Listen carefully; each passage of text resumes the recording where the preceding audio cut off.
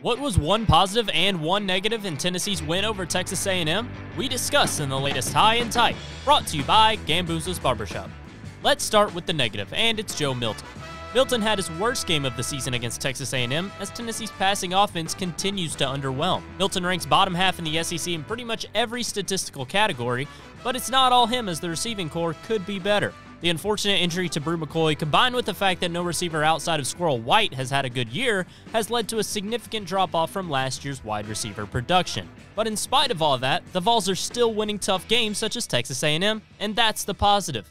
Everywhere else, Tennessee has been good to great. The front seven has been elite, led by sophomore James Pearce. Dee Williams is a game changing punt returner. Jaylen Wright looks like the best running back in the SEC, and the secondary, led by Kamal Hadden, has improved. The passing offense hasn't been good, but other areas are picking up its slack. If Milton and the receivers can turn things around, Tennessee will be an even more dangerous team down the stretch. It's the High and Tight, brought to you by Gambuzza's Barbershop, where you can book online at gambuzzasbarbershop.com or call 865 588 4001.